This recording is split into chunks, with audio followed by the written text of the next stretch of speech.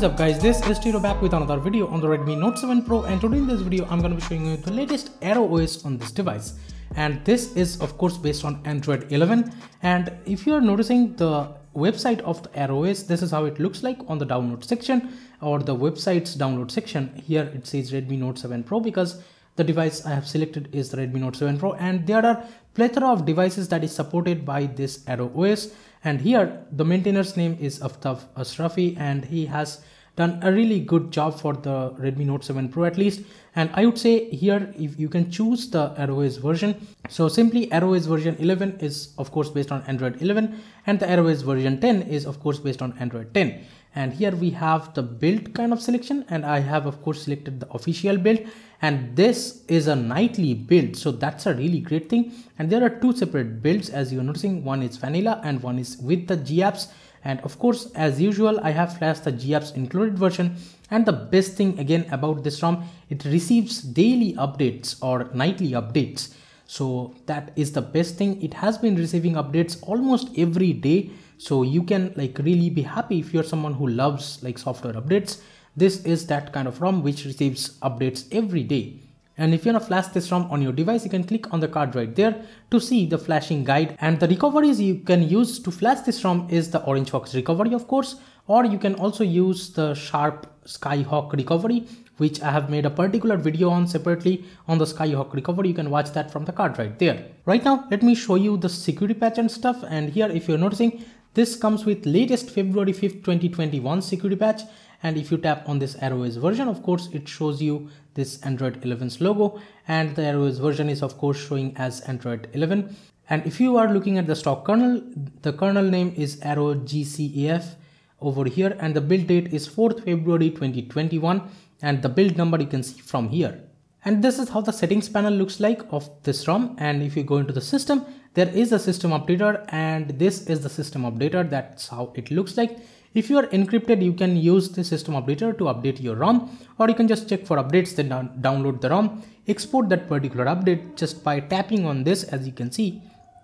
Right now it shows export update. So if you click on the export update after you download that particular update, as you can see, let me actually show you in here we have this ArrowOS updates. It will be exported in this particular folder so that you can flash that particular zip while like when you go to the recovery you can select that zip and you can flash it if you're decrypted. Or if you're encrypted again you can flash it just through this like updater over here OTA updater. And if you're noticing the build dates this is the February 4th 2021 build. And again there is the February 3rd 2021 build which I was on earlier. I was actually on like the January 31st build or something like that. So yeah I have updated quite a lot and right now I am on the latest 4th January 2021 build and the stock keyboard over here is Gboard on the GApps included build. Let me first quickly show you the home screen. This is how it looks like and if you go into the settings this is how it looks like again and there is the ArrowOS launcher over here as the default launcher and this launcher is really really interesting in my opinion because you can change the icon packs and you can enable the show Google app, show search bar. You can almost enable everything else. And then we also have the disabling option of the suggestions over here, which takes a little bit of time to go into. I don't know why, but yes, you can disable the suggestions. And there is a hidden and protected apps. So let me actually show you. With this, you can lock particular apps. So yeah, or you can also hide that particular app if you want to so if you click on this eye over here it will be hidden from the app drawer and if you tap on this lock icon it will be locked so i have also locked the telegram app i'll show you that later on but right now let me show you there is a double tap gesture. So that means there is the double tap to sleep anywhere on the home screen. And that is a really amazing feature in my opinion of this Arrow OS and let me actually show you double tap to sleep anywhere in the home screen is working fine. Let me unlock the device. And again as you are noticing the fingerprint scanner is very very fast. And let me show you with my left hand's index finger. And as you are noticing fingerprint scanner speed is very fast and reliable. No issues whatsoever with the fingerprint scanner. It is very very fast and snappy fingerprint scanner and even with the app locking as you can see you can unlock the app pretty easily with the app lock kind of feature. Or you can also use your pin if you want to. Now on the stock launcher again, the widgets are working fine. To the left, we have the Google's Discover page. And you can swipe down or I mean swipe up to get the app drawer as you are noticing. Or you can search for particular apps over here. And you can get the quick settings panel by just sliding a finger on the like over here on the home screen sliding down a finger on the home screen gets you to the quick settings panel. I'll show you the quick setting panel stuff later on, but again, the widgets are working fine here. The stock camera over here is the Google Camera Go edition and with that you can take basic pictures pretty easily and with the portrait mode and stuff everything is working no issues with that even the front camera is working fine there is this like face beautification kind of mode or smoothing kind of mode you can use that if you want to and with this you can also take videos and then we have also this translate option. So pretty cool like camera app over here which is present by default. So that is great. So this is a really great thing that this ROM passes the safety net test right out of the box. So that means you can use banking apps like Google Pay right out of the box of this on this ROM. You don't need Magisk Hide or something to use banking apps. Also, the DRM info shows as L1, so that means you can stream Netflix or Amazon Prime videos. In 1080p over here, no issues whatsoever. And also in some ROMs, I would say the IR Blaster is crashing the ROM and it's rebooting, I would say, in the Android 11 version ROMs, like the Evolution XS earlier version, not the latest one. I haven't tried the latest version, but on 5.3 or something, I have had really weird issues. It was rebooting whenever I'm using an app which is using the IR Blaster.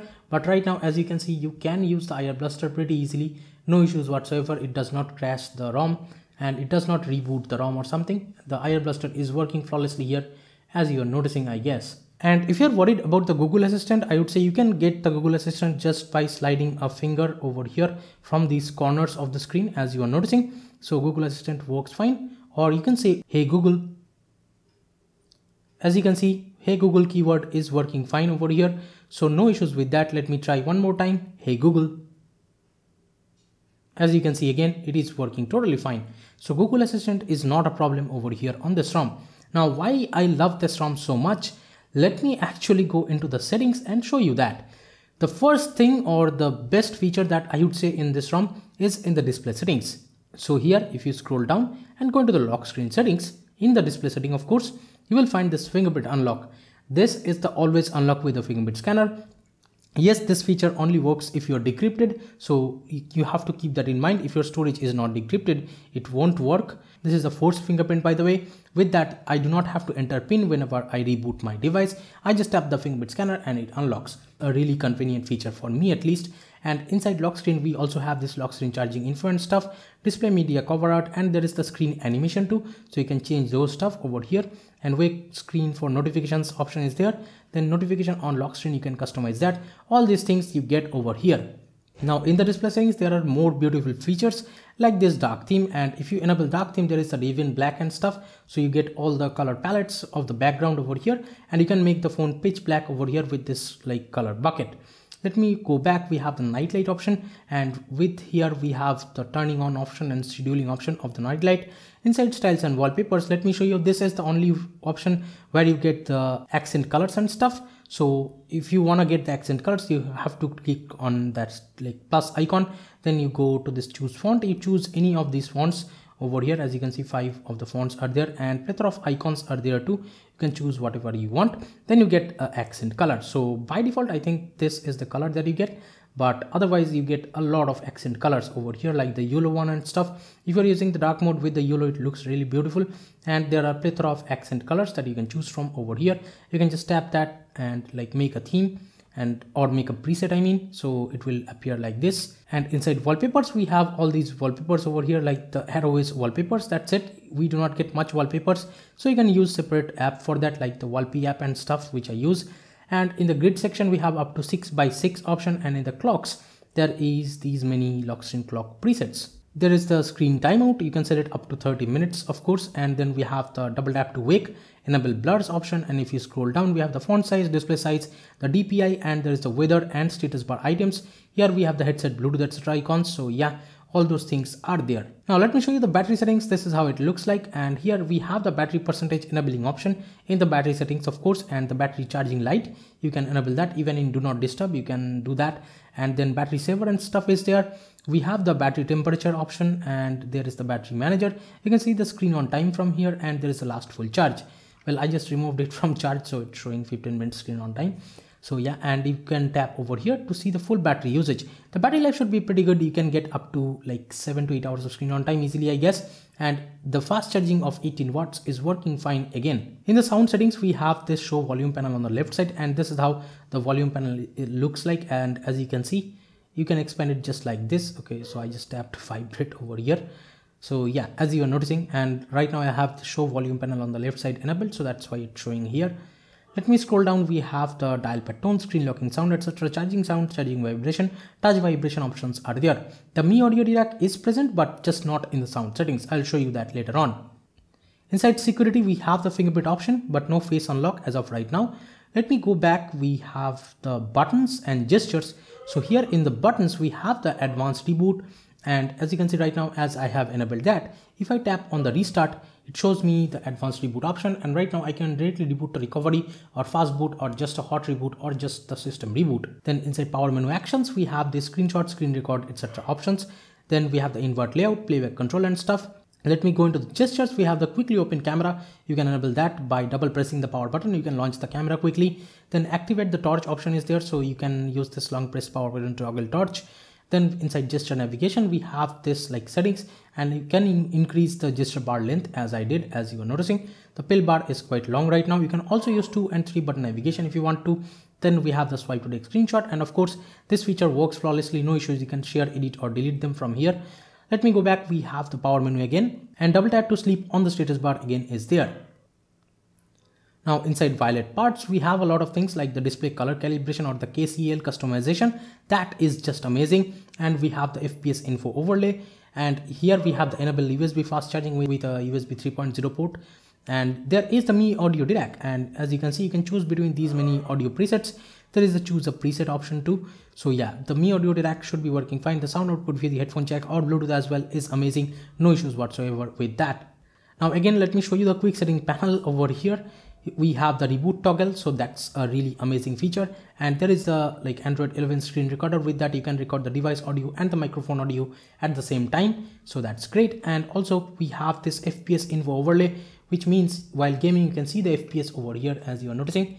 On the top it shows the fps while whenever you're gaming you can enable that and it will show the gaming fps on the screen. And if you want to see the benchmarks here are the Antutu geekbench scores of this ROM well, I would say this is one of the best ROMs for the Redmi Note 7 Pro in my opinion at least because it has like a lot of features. And yes it does not have some features like which I use. As you can see the swipe to adjust brightness on the status bar is not there or the brightness gesture over here on the status bar is just not there. So I miss that. But I would any day take that always unlock with the fingerprint scanner option over that. So there is the double tap to sleep again on the like home screen anywhere. There is the double tap to sleep on the status bar too. And there is like that always unlock with the fingerprint. And there is like the double tap to wake and stuff. Everything is working fine. And by the way this is how the lock screen looks like. There is also the temperature showing up. You can customize that even. So and the google assistant again is working fine with the keyword. So that makes this ROM a really interesting like ROM in my opinion because the IR blaster is working super fine. The DRM info stays L1. The safety net works right out of the box. So this makes the ROM a really great option again for the Redmi Note 7 Pro. Let me know in the comments what do you guys think. Give this video a thumbs up if you liked it. Share this video with your friends if they have a Redmi Note 7 Pro and if you if they wanna like have a look on this custom ROM, the ArrowOS, the latest ArrowOS. And this ROM also receives updates almost every day. So these things makes this ROM really different or even better with like when compared to other custom ROMs in my personal opinion.